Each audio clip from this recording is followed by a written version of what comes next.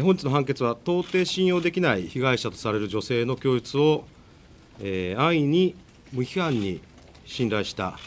極めて情緒的な判決であるとともに、えー、刑事件の事実認定の方法を誤り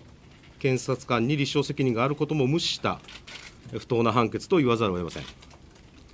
内芝氏及び弁護団としては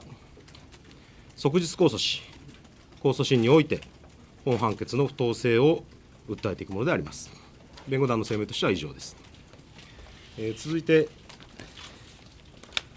え今、しがた接見してきた際に内柴さんが伝えてほしいと言われたことをお話します。応援してくれている人にとっては、残念な結果となってしまいましたが、まだ僕には頑張る気持ちがあるので、もう少し待っていてください。僕は無実です。被害者ご本人のこの判決を受けてのコメントを発表させていただきます。今日の判決でこれまでのことがやっと報われたと思います。これまで私は事件そのものによる辛さに加えて、刑事さんや検事さんに事件のことを詳しく話し、法廷でも証言をし、被告人の嘘の弁解を聞かされることによって、辛い思いをしてきました。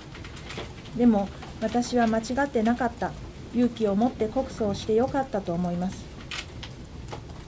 ただ、正しい判決がされても、私が受けた苦しみが完全に言えることはありません。私は一生苦しみ続けなければなりません。せめて被告人には控訴はしないで罪を認めてほしいと思います。